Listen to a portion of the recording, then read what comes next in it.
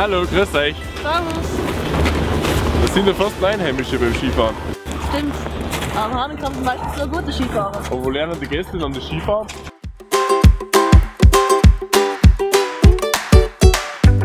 Da wo ich schon Skifahren gelernt habe.